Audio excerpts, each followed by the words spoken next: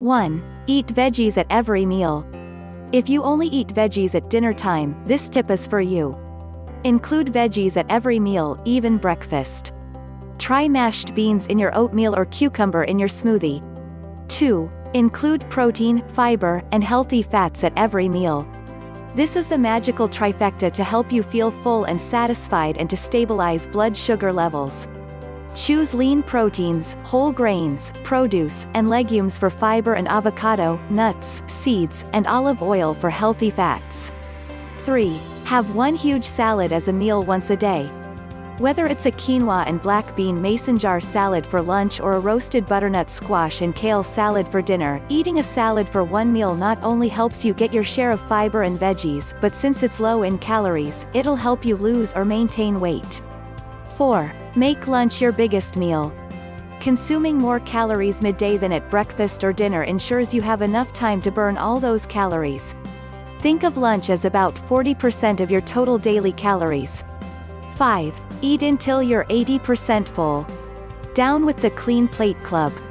Instead of putting the fork down when your plate is empty, eat slowly, and pay close attention to how your belly feels so you can stop eating when you're satisfied but not stuffed. 6. Go vegan once a week. To encourage you to eat veggies, fruits, legumes, and whole grains, pick one day a week to go vegan. Skipping meat, dairy, and eggs will allow you to focus on eating all those plant-based foods experts are always telling us to eat more of. 7. Swap artificial and processed sweeteners for natural sources.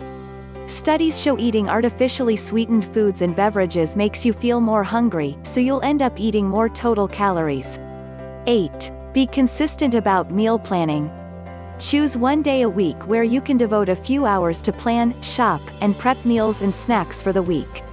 You'll not only save time and money, but you're more likely to stay on the healthy path once you have that intention set for the week. 9. Put down the salt shaker. Too much sodium not only affects your blood pressure, but it can also damage your organs and tissues and cause that bloated feeling that leaves you feeling sluggish and uncomfortable. 10. Indulge once a day. Don't give any foods up completely. Denying yourself the bites you crave can backfire, causing you to feel deprived, resulting in binging and feeling depressed. 11. Walk 30 minutes a day. Rain, shine or snow, make it a habit to go for a brisk 30-minute walk every single day. 12. Try this program that burns up to 1 pound per day link in description.